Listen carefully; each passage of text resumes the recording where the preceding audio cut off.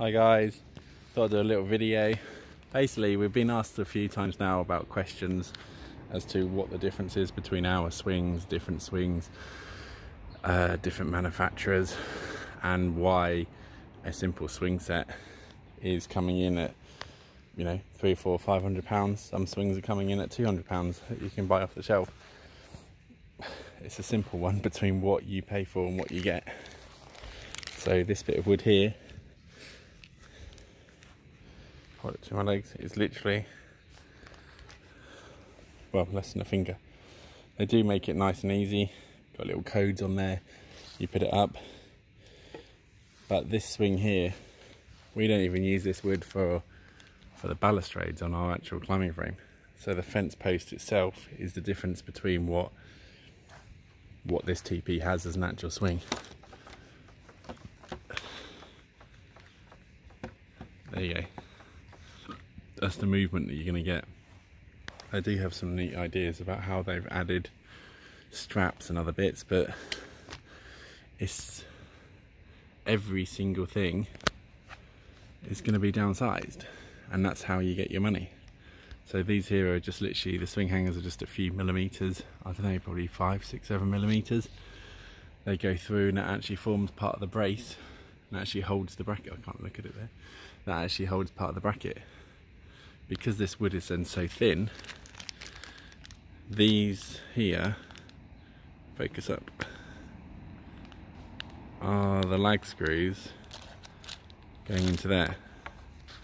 So that movement you get, not even pushing it really very hard, is what you're going to be getting when you put these lag screws into here to hold this metal bracket. It's not even coming off that metal bracket. Now every single frame has issues, every single frame goes up and down. I mean we get phone calls and stuff about graining in our wood and other bits and pieces. Then all wood is going to do exactly the same. So as it dries out, you're going to get these little grains are going to open up just slightly. Um, it's, it's, nothing normally to worry about because it's just wood being what wood does.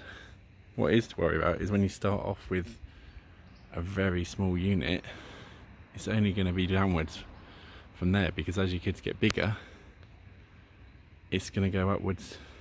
The weight goes upwards, the swinging goes further, and the set can't cope with it.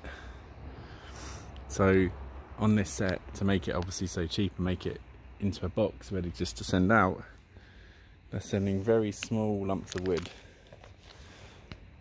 that you bolt through with the smallest of lag screws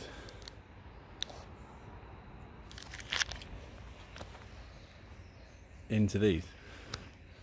Now our swing beam personally is actually over double that. We use a 4x4 that's probably, I don't know, three inches, one and a half by three, as a main swing beam. Our braces, again, we would use this sort of type wood just to build the A-frame with a 4x4 length of wood to hold the main leg.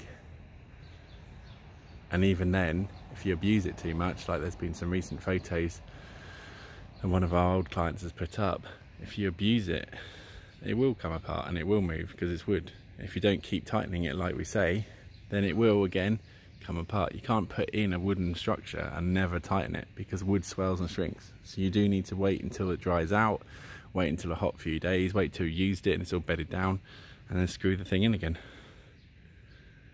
But if you do really want any advice about what to buy, where to buy from and how to buy it, then, then let us know. Contact us on www.climbingframeinstaller.co.uk.